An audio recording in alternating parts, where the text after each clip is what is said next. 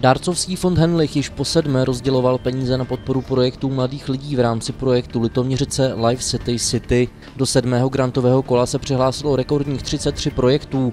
Fond jich nakonec podpořil 18 celkovou částkou 75 tisíc korun.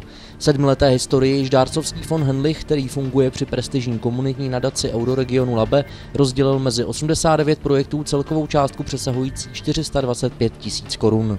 Dneska tady nebyly projekty jenom sportovního charakteru, ale byly tady ze sociální oblasti, byly tady z mm, ekologické oblasti, byla tady mm, řada moc hezkých projektů a mm, byli bychom rádi, kdybychom mohli podpořit eh, všechny. Je to takový skutečně inkubátor pro eh, mladé lidi, aby se naučili žádat si o větší peníze z evropských fondů, ze státních fondů, ze státního rozpočtu, prostě ze všech fondů, které pro jejich činnost jsou dispozici.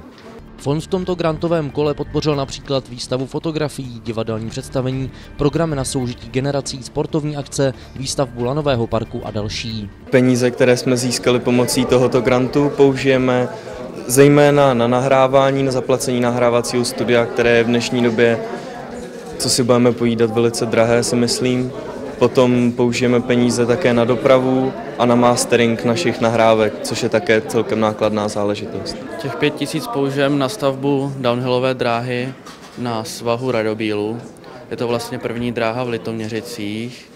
Eh, chtěli bychom tady přilákat nové bikery tomuto sportu, protože tato disciplína není zrovna moc obvyklá v Čechách kvůli tomu, že tady nejsou svahy nejsou tady lesy a pernamentky na normálních svazích, například jako ve Špindlerově míně, jsou velice drahé, takže potom jeden víkend pro normálního člověka vyjde například na 1500 korun. Tady ta dráha není tak dlouhá, takže se dá vytlačit a opravdu se to dá užít ten sjezd.